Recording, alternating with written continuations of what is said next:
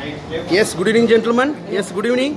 Your valuable comments, please. Venus Catering Service owner குருமூர்த்திங்க super everything is good service எப்படி sir இருந்துச்சு nice thank you so much God richly bless you and your family. Thank you so much, sir.